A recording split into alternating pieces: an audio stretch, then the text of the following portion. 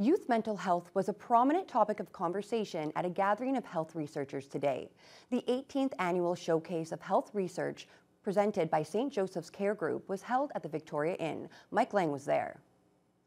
It shouldn't come as a surprise that the COVID 19 pandemic has negatively affected people's mental health.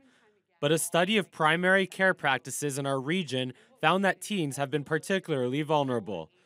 Brianne Wood is with the Thunder Bay Regional Research Institute and NOSM University. We found that children and youth uh, mental health presentations in primary care increased after March of 2020, uh, and that this increase was seen in both boys and girls and across the different age groups.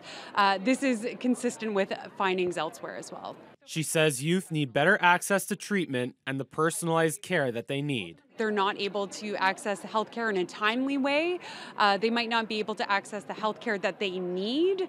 Um, and so I think having a diversity of options is really important and uh, needs more attention. Youth and mental health were the main focuses of today's 2023 Health Research Showcase, hosted by St. Joseph's Care Group and the Center for Applied Health Research.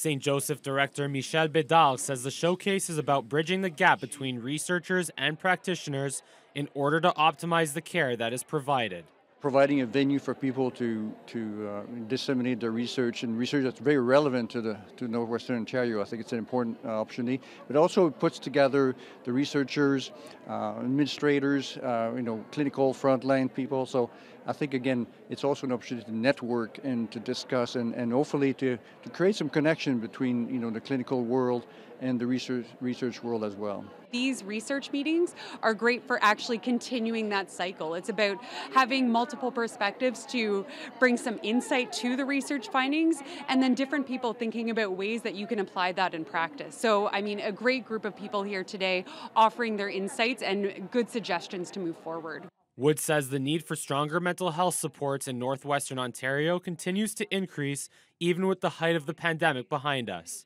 Next, she intends to study how that compares to other parts of the province. Mike Lang, TBT News.